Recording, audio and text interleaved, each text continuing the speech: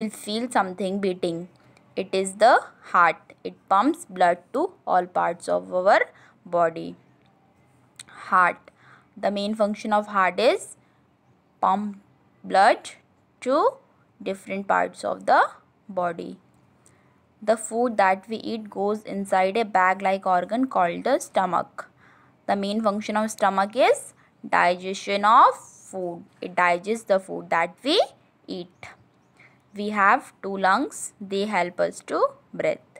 Like this we have two lungs. With the help of lungs we can breathe. Next sense organ.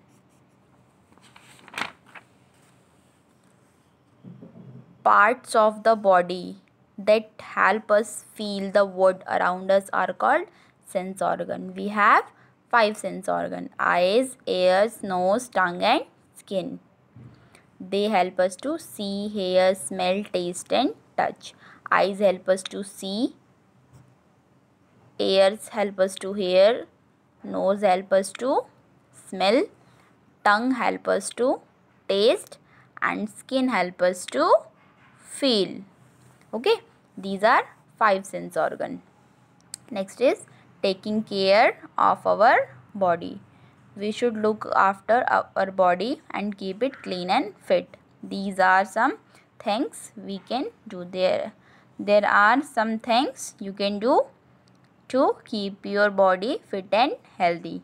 Eat clean and healthy food. You should always eat clean and healthy food.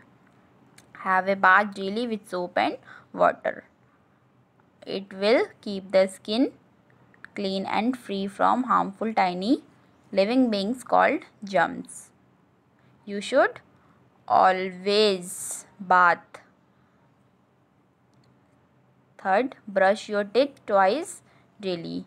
You should brush your teeth twice in a day. First in the morning and second at the night. Next, do not put sharp things into your eyes and ear because it can harm your eyes and ear. Keep your nose clean by use a clean handkerchief to clean it. Do not watch television or use a computer for long. Read under a bright light. And do not use television and computer for long time. It can harm your eyes. Okay. So, read this chapter